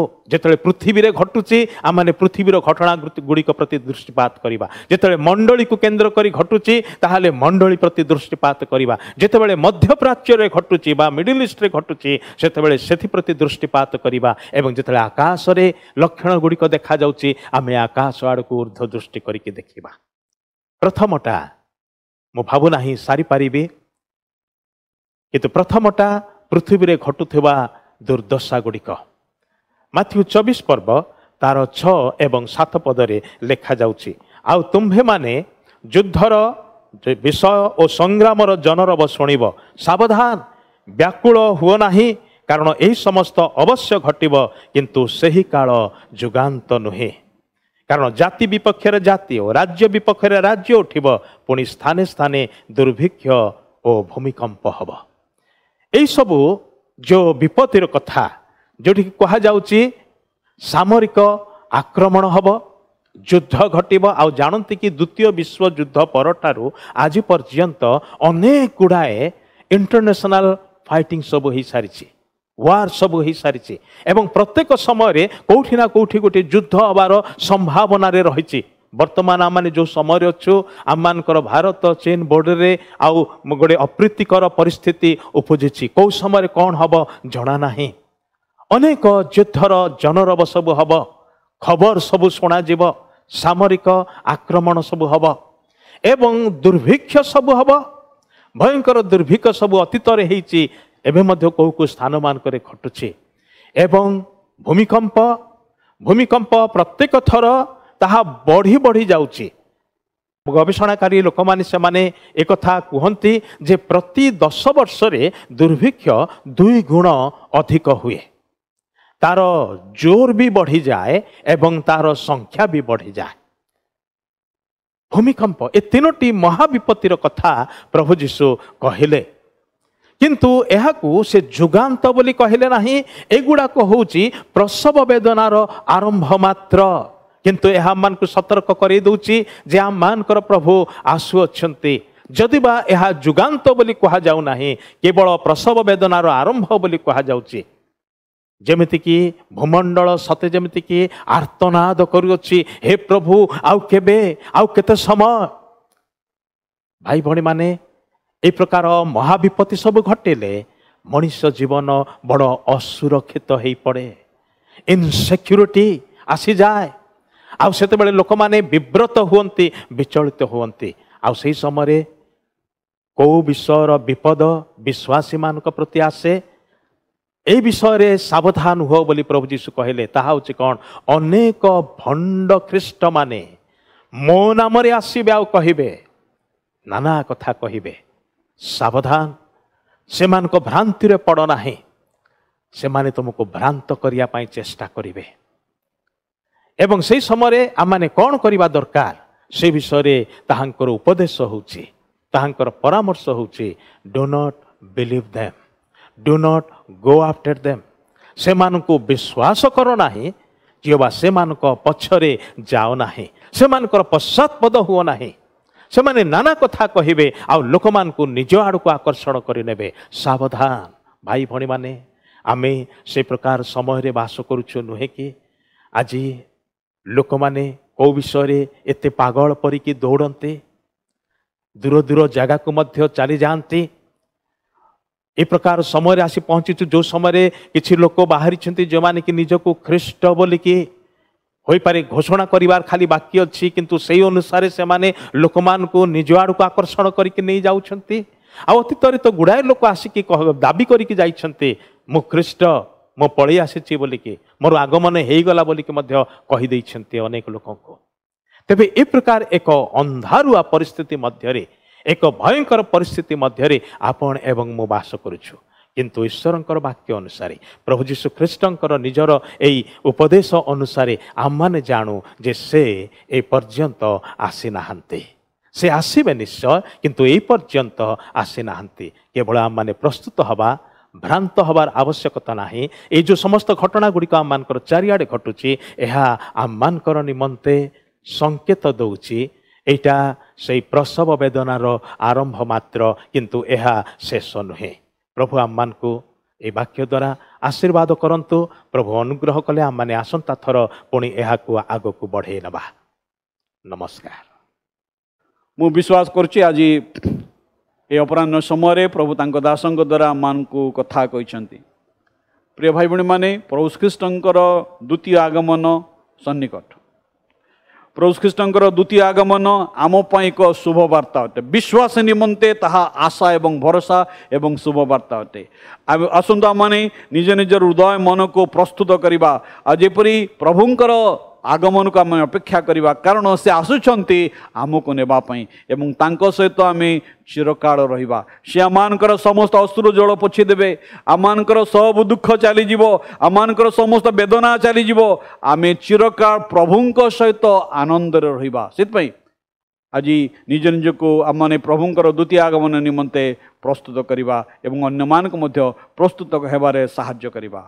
ଆସନ୍ତୁ ପ୍ରାର୍ଥନା କରିବା ପ୍ରଭୁ ତୁମର ପବିତ୍ର ଗୌରବ ନାମକୁ ଧନ୍ୟବାଦ ଦେଉଛୁ ଆଜି ଏ ଅପରାହ୍ନ ସମୟରେ ତୁମର ଦାସଙ୍କ ଦ୍ୱାରା ତୁମେ ଆମମାନଙ୍କ ସହିତ କଥା କହିଛ ହେ ପ୍ରିୟ ପ୍ରଭୁ ଯେଉଁ ସମସ୍ତ ବାକ୍ୟ ଆମେ ଶୁଣିଲୁ ପ୍ରଭୁ ତୁମର ବାକ୍ୟର କର୍ମକାରୀ ହେବା ପାଇଁ ଆମମାନଙ୍କୁ ପ୍ରତ୍ୟେକଙ୍କୁ ସାହାଯ୍ୟ କର ତୁମ ଦାସଙ୍କୁ ତାଙ୍କର ପରିବାରକୁ ତାଙ୍କ ସେବା କାର୍ଯ୍ୟକୁ ବାହୁଲ୍ୟ ଭାବେ ଆଶୀର୍ବାଦ କର ଆମମାନଙ୍କର ପ୍ରାର୍ଥନା ଶୁଣିଥିବାରୁ ବିଶ୍ୱାସର ସହିତ ତୁମକୁ ଧନ୍ୟବାଦ ଜଣାଇ ଏ କ୍ଷୁଦ୍ର ପ୍ରାର୍ଥନା ଯୀଶୁଙ୍କ ନାମରେ ମାଗୁଅଛୁ। ଆମେନ୍ ଶେଷ ଆଶୀର୍ବାଦ ଭିକ୍ଷା କରିବା।